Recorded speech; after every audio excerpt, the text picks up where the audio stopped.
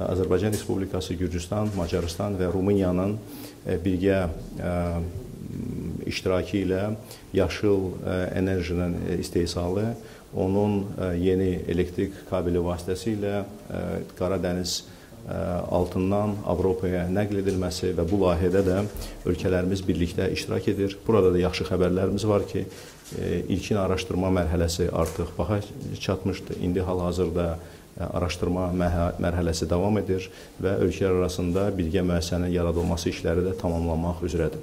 Bu çox böyük bir layihədir. Bu böyük regionu əhatə edən bir layihədir və hesab edirik ki, həm Azərbaycan iqtisadiyyatı, həm digər tərəfdaş dövlətlərin iqtisadiyyatı üçün çox böyük növbəti bir təkan olacaq və gözəl əməkdaşlıq imkanlarıdır. Bu günləri biz qeyd etdiyimiz potensial əməkdaşlıq sahələri barədə danışarkən böyük birgə investisiyalar kontekstində Azərbaycan ərazisində ələt sərbəst iqtisadi zonasında birgə istehsal layihəsi Macarıstandan olan Hell Energy şirkəti ilə birgə layihənin və onun gedişatını müzakirə etdik. Əczaçılıq sahəsində birgə istehsal imkanları barədə Macarıstanda siz bilirsiniz ki, bu sahə çox inkişaf edib.